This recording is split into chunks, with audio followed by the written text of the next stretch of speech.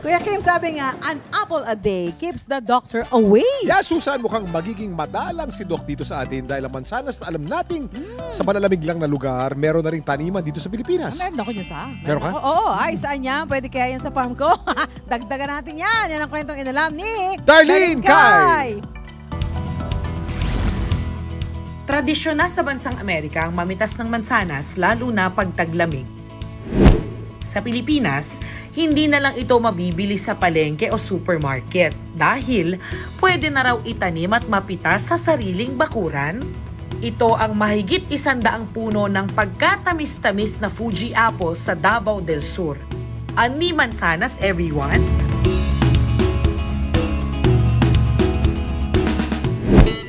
Ang dalawang ektaryang taniman ng mansanas ng agricultural student na si Benzon, tuwing anihan, namumula ng mansanas.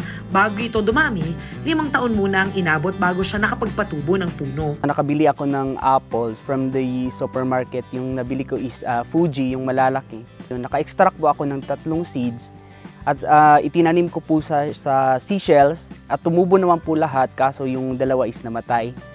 At yung isa is, uh, yun po yung nagtuloy-tuloy. Matapos mapalaki ang nag-iisang puno ng mansanas, dito na siya pumutol ng mga sanga para i-grafting o yung proseso ng pagdudugtong ng namumungang sanga sa isang parent plant. Ito raw ang pinakamabilis na paraan para mapatubo at maparami ang mga puno ng mansanas. Once magtanim tayo ng apple from seeds, so the usual na fruiting niyan is 5 to 12 years. Mas matagal po siya. Whereas kung magtanim tayo ng apple na grafted, mabilis po siyang mamunga. It will take siguro mga 2 to 3 years. Isa sa mga goal ko po is uh, to really produce apples na magiging available po sa mga local market natin dito sa Pilipinas. Ang dating bakuran, ngayon apple orchard na. All year round pwedeng mamitas ng mga mansanas. Dalawang beses kasi sa isang taon kung mamunga ito.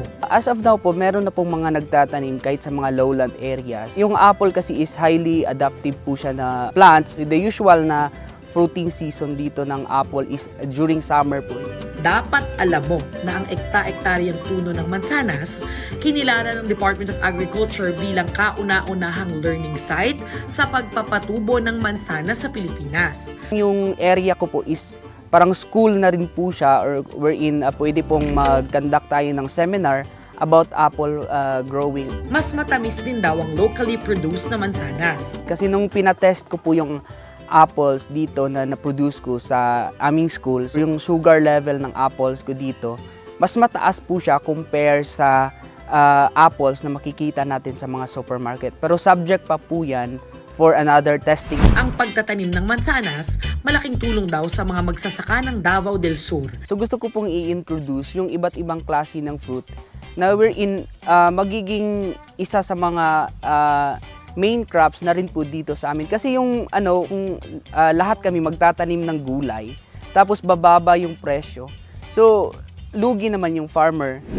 Hindi na uubusan ng mga pwedeng itanim dahil sa determinasyon at masusing pag-aaral, mas napagyayaman pa ito at mas napalalago ang kabuhayan ng mga Pinoy. Ako si Darlene Kai at yan ang kwentong dapat alam mo